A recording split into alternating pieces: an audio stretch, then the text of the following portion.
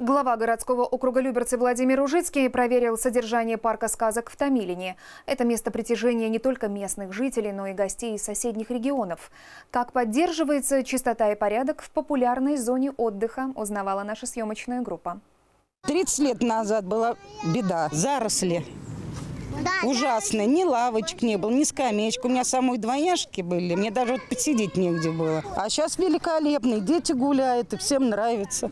Старожилы Томилина считают этот парк главной достопримечательностью поселка. Он отличается красотой и уникальностью. Здесь можно не только гулять на свежем воздухе, но и рассматривать сказочных персонажей. У каждого посетителя свое любимое занятие. Мы обычно кормим белочек.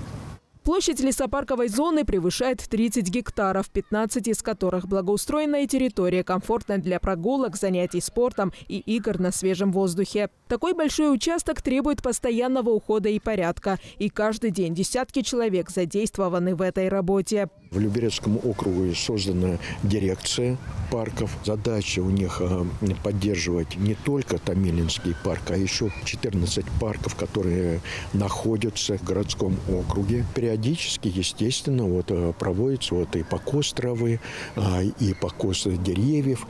Немало внимания уделяют и порядку общественному. На территории парка установлено 16 камер видеонаблюдения и две кнопки экстренного вызова полиции. Зону отдыха ежедневно патрулируют народные дружинники.